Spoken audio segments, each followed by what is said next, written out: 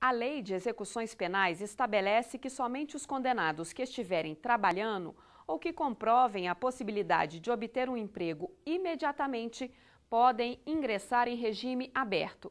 Mas para os ministros do STJ, essa não é a realidade carcerária do país.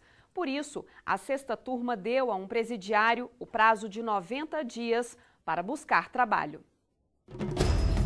Cumprir pena de prisão por ter cometido crime deixa marcas na vida de uma pessoa. Mas e depois? Como se livrar desse período sombrio? Uma das formas é por meio do trabalho, que nesse caso se torna tarefa das mais complicadas.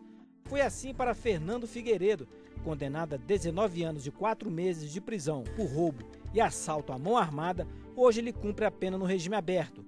Mas a realidade começou a mudar depois que ele participou de um programa de ressocialização Há cinco anos, Fernando coordena a cooperativa Sonho de Liberdade, que fabrica, entre outros produtos, bolas de futebol.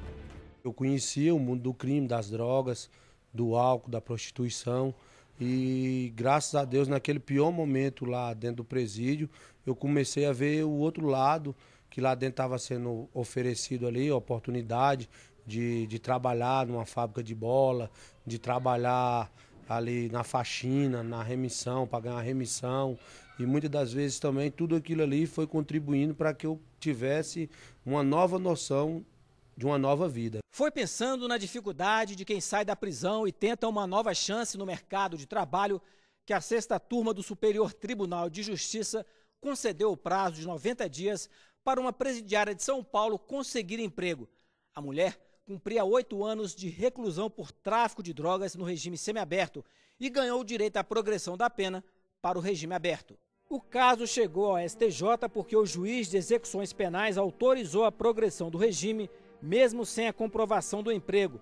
Mas o Ministério Público Estadual recorreu da decisão, sob o argumento de que, sem a prova de proposta de trabalho, o benefício não seria possível. O relator do recurso especial desembargador convocado Vasco Della Justina entendeu que é razoável conceder ao apenado um prazo para, em regime aberto, procurar e obter emprego lícito, apresentando posteriormente a comprovação. Imagine o antagonismo da nossa legislação. Ela diz ao apenado que visa cumprindo a função da pena a progredir, né, a se ressocializar, ela diz ao apenado, olha, o senhor vai poder sair e cumprir um pedaço da sua pena em, nesse regime aqui aberto, que é uma espécie de liberdade supervisionada. Só que o senhor só pode aderir a esse regime caso o senhor esteja trabalhando. Então imagine a situação do apenado que preso, encarcerado, tem que procurar emprego, ou ainda num regime semiaberto, ele tem que transparecer a credibilidade suficiente para conseguir esse emprego, que ninguém consegue. O nossa taxa de desemprego continua bem alta. Então é uma função funesta e muito difícil. A posição do tribunal foi, no meu, na minha visão, bem correta. Este jovem de 21 anos foi preso aos 18 por tráfico de drogas e associação para o tráfico. Atualmente, também participa de um programa de ressocialização. Ele prefere não se identificar, mas diz estar se preparando para um dia andar de cabeça erguida. Graças a esse projeto, hoje em dia tenho uma nova perspectiva de vida, onde viso primeiramente a ascensão profissional, realização pessoal e retorno à sociedade ao meu ver, depende-se muito da, da força de vontade e determinação.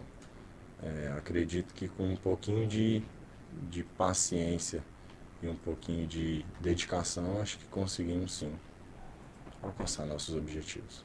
O responsável pelo programa diz que mais de 60 condenados já tiveram essa oportunidade e hoje muitos estão trabalhando ou abriram o próprio negócio. Pessoas que estão trabalhando na área de informática, alguns trabalhando com áudio e vídeo, é, alguns trabalham em empresas terceirizadas pela cidade, é, em hospitais públicos, pessoas que estiveram, é, que tinham formação e não tinham oportunidade. A justiça que condena também ela pode é, trazer de volta à sociedade muitos daqueles que foram condenados. Pode, pode dar uma, nova oportunidade, uma chance através do trabalho para aqueles que são oriundos do, do, dos regimes semiaberto e domiciliar.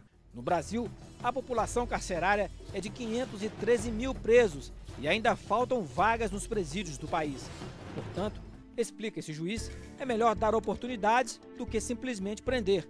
O magistrado destaca que o programa Começar de Novo do Conselho Nacional de Justiça já promoveu e incentivou vários presos que cumpriram suas penas a retornarem ou ingressarem pela primeira vez no mercado de trabalho.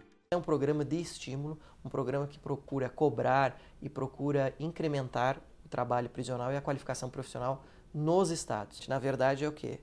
É o direito se adaptando à realidade.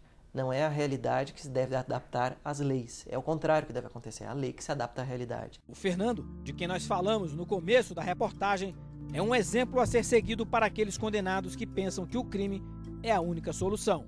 Que eu posso deitar no meu travesseiro, dormir sossegado. Hoje eu posso dar de cara com qualquer uma autoridade, qualquer viatura da Polícia Militar, da Polícia Civil, seja ela da onde for, que hoje, graças a Deus, eu não preciso andar de cabeça baixa e nem me escondendo mais. Hoje eu posso andar de cabeça erguida, porque hoje eu sou um cidadão.